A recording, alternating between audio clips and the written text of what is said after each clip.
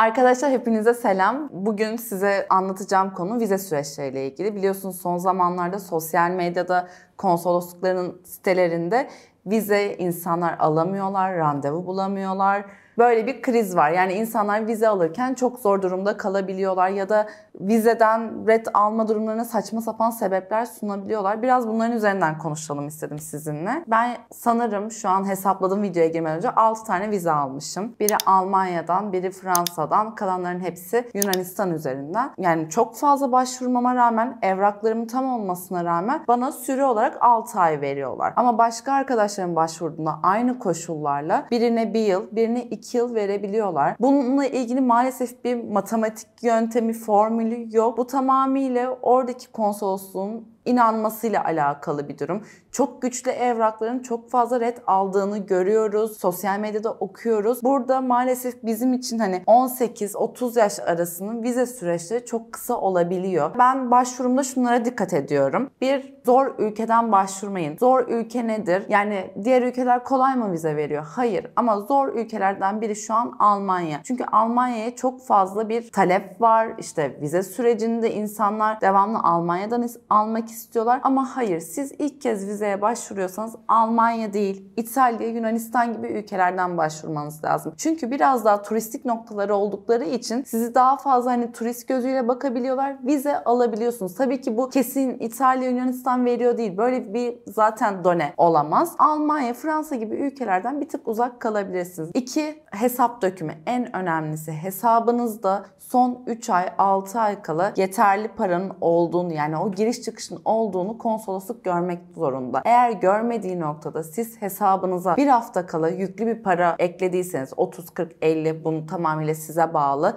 zaten başvurularda hesabınıza ne kadar para olması gerektiğini günlük yazıyor. Ama her zaman bunun iki katı, üç katı gibi düşünün. Çünkü o ülkeye gittiğinizde günlük harcaması 100 euroysa 5 günde 500 euro. Siz otele 5000 TL ödüyorsanız o hesapta 10 bin, 20 bin TL var olduğu noktada konsolosluk diyor ki ne harcayacak? Eğer sizin total harcamanız 15 bin TL ise 3 katı 45-50 bin TL gibi paralar yer almalı. Bu paraları tamamıyla kendi deneyimime göre söylüyorum. Bu sizin işte 45 bin olmalı değil. Yani eğer harcamanız, tatiliniz 20 bin TL'yi buluyorsa 80. Yani hep 3-4 katı gibi düşünmeniz lazım. Çünkü Euro'nun 30-32 olduğu versiyonda sizin hesabınızda bir 5000 TL, 10.000 TL olması çok bir anlam ifade etmiyor ve bu hesap dökümünü inceliyorlar. Eğer siz vizeye bir hafta kala hesabınıza çok yüklü bir para koyduğunuzda biliyorlar ki sonrasında bu hesaptan para çekilecek ve bu insan oraya gittiğinde ne harcayacak? Ve bu da red sebeplerinden biri olabiliyor. 3. Niyet mektubu. Niyet mektubunun inandırıcılığı gerçekten çok önemli. Bazı konsolosluktaki vizeyi inceleyen kişi yani vize evraklarını bu mektuba bakmıyor. Hiç umursamıyor bile. Daha önce kişinin vize aldığına vesaire bakıyor ve önceki vizesi neyse ona göre vize veriyor ya da daha fazla veriyor. Burada eğer çok yakın arkadaşımla gideceksem yakın arkadaşımdan bahsediyorum. Onunla fotoğraflarımı ekliyorum. Ne yapacağımızdan bahsediyorum. Ya da erkek arkadaşımla gideceksem onunla daha önce gezdiğimiz ülkelerden, kaç yıldır beraber olduğumuzdan ve birkaç gün tatil geçireceğimizden bahsediyorum. Ek olarak da niyet mektubuma kalacağım oteli, hangi hava yollarıyla gideceğimi ekliyorum ve bu şekilde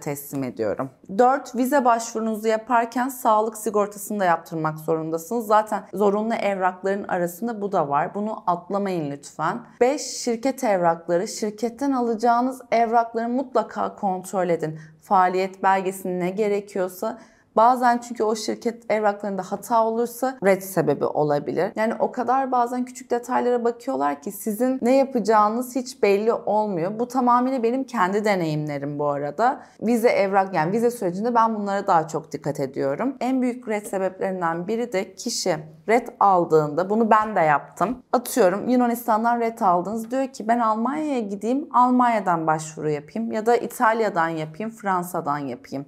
Schengen bölgesi ülkelerde bir data var ve bu datada konsolosluk sizin isim soy yazdığınızda daha önce red aldığınızı sistemde görüyor. Ve diyor ki e, İtalya'dan başvurmuş, red almış. E şimdi bana gelmiş Fransa diyor ki ben niye vereyim vize? Ya da bazen verebiliyorlar. Bu da tamamıyla şans. Yani o niyet mektubunu yazdığınızda ya da evraklarınız tam olduğunda bu değişebiliyor. Mesela ben de Almanya'dan red aldım. Fransa'ya başvurdum. Fransa'dan ikinci reddimi aldım ve tekrar Fransa'ya başvurdum ve bir hafta arayla. Yani yaptığım yanlıştı ama bir risk almak istedim. İşte annemin pasaportunu ekledim. Daha önceki tüm vizelerimi ve Schengen mühürlerimi ekledim. Ve bir ay bana vize verdi. Sonra o red sürecim artık benim kalktı. Ama bunlar gerçekten biraz şans diyebilirim ya da gündem durumuna göre de değişebilir. Umarım bu bilgiler sizin için yararlı olmuştur. Başka bir videoda görüşmek üzere. Hoşçakalın.